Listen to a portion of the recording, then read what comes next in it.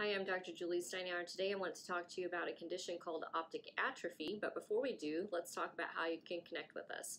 Our phone number is 618-288-1489 if you're local. If you're not local, go to our website at visionforlifeworks.com and you have a couple of options. You can either click on the schedule a consultation directly with me or you can fill out a questionnaire and get some feedback about your vision. Now let's go back to talking about optic atrophy. Now I do have some pictures to show you. I kind of dug these out of the archives off of my bookshelf from an old book from optometry school. But in this picture, what you're looking at here, this yellow spot, is the optic nerve. And it's what it looks like when you look at the back of the eye, which is red here, this retina. And there are blood vessels kind of over the top of it. They come in through the optic nerve into the eye. So in optic atrophy, there's not a lot of color to the nerve. It's just kind of like yellow or white.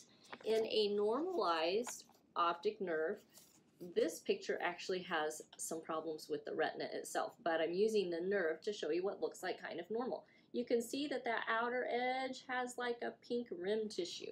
And so normally the optic nerve will kind of look like pink rim tissue and then there's kind of a hollow spot where the blood vessels come into the eye through the optic nerve. And in optic atrophy, the entire thing will look kind of hollow. It will look all kind of like yellow or white. There won't be that real distinct, nice, healthy pink rim tissue. What happens for someone who has optic atrophy is that it can affect their eyesight anywhere from 20 maybe they see 2020 still, but it could range all the way up to about 2400 where it affects them and what they're seeing clearly. And um, what do we do about it? If we have someone who has optic atrophy, you know, what are the things that you can potentially do to help someone?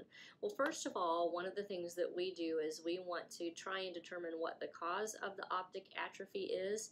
If it happened to come from something like medication or trauma or inflammation, then we may recommend that patients go on on a protocol that that we don't do, but um, a nutritionist that we work with will provide for our patients.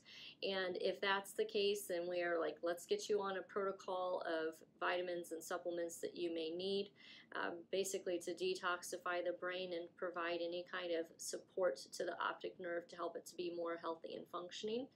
and then on top of that, what do we do? Well, we are going to treat that patient as though they have a condition called amblyopia. Amblyopia is where the eyesight does not develop properly in one eye or sometimes in both eyes, which is also called bilateral. Now, in optic atrophy, it can occur in one eye or it can be bilateral. Most of the time it's going to be bilateral, but there are obviously many cases of um, unilateral or one-sided kind of optic atrophy. Doesn't matter which one it is, we're going to treat it like an amblyopia case, whether it's in one or in both eyes. And in amblyopia, what we do is we use specific filters called syntonics, or sometimes also called photosyntonics, and we use the filters to trigger electrical responses within the brain. More specifically, in cases of optic atrophy, where we're treating it like it's an amblyopia, we're triggering the nerve in the brain to be able to process seeing things more clearly. We in general are able to get about a two line, sometimes even more, but on average, two lines of improvement seen on the Snellen letter acuity chart. Some of our patients do get better than that. Again, they might get three or four or five lines of improvement, depending upon how severe their optic atrophy is and how long they've had it.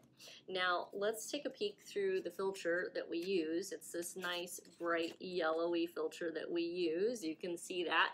Um, and that's the filter that we use for patients who have amblyopia as well as optic atrophy, trying to trigger the brain to be able to uh, process seeing things more clearly.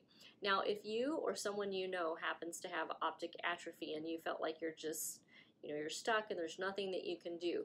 That's not true. You're not stuck. There's nothing that you can there's not nothing that you can do. There is something that you can do. Um, if you're local call us at 618-288-1489 if you're not local you can can go to our website at visionforlifeworks.com fill out either a questionnaire or click to schedule a consultation directly with me and we'll talk about how we might be able to help you um, to improve your visual acuity maybe two, three, or four lines of eyesight better. Um, if you haven't done so already, please hit that like button on our video and also like and subscribe or subscribe to our, channel so that you can see all of our videos.